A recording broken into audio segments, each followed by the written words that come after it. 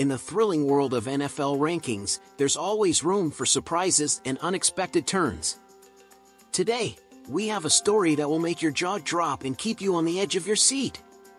Get ready for a bombshell that could change everything you thought you knew about the Pittsburgh Steelers defensive tackles. For years ago, the Pittsburgh Steelers had not one, but two of the finest defensive tackles in the entire NFL.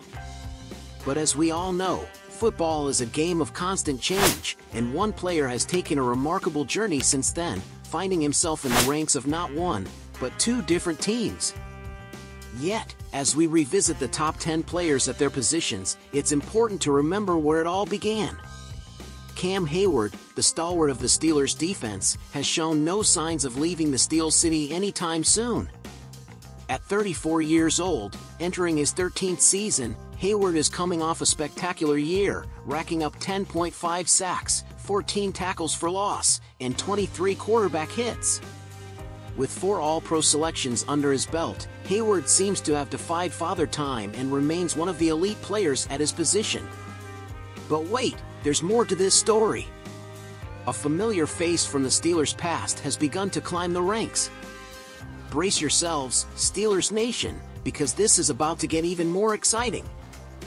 The ESPN rankings for the top 10 defensive tackles of 2023 have just been released. The voting process involved coaches, scouts, executives, and even players themselves. And who do we find on that list? None other than Cam Heyward, holding steady at the ninth spot. But right beside him, making a stunning leap from obscurity, is none other than Javon Hargrave, the Steelers' third-round draft pick, who has claimed the fifth spot. You might recall that last year, Heyward was ranked 5th, while Hargrave didn't even make the list. Oh, how times have changed. Since leaving the Steelers in 2020, Hargrave has emerged as one of the most dominant forces at his position. In his three years with the Philadelphia Eagles, he has notched an impressive 23 sacks and 24 tackles for loss, earning his first Pro Bowl selection in 2021. And just when you thought the story couldn't get any juicier, Hargrave secured a mind-blowing four-year, $84 million deal with the San Francisco 49ers this offseason. With a string of accolades and a bright future ahead, Hargrave is closing in on Heyward's legacy as the seasoned veteran approaches the twilight of his illustrious career. Imagine what it would be like to have both of these incredible players on the Steelers roster this season. It's the stuff dreams are made of. Many believed that Pittsburgh had a shot at making it happen during free agency.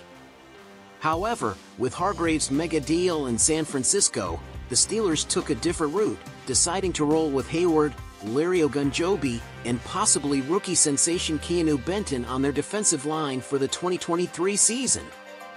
Now, Steelers fans, I must ask you this. What do you think of this stunning development?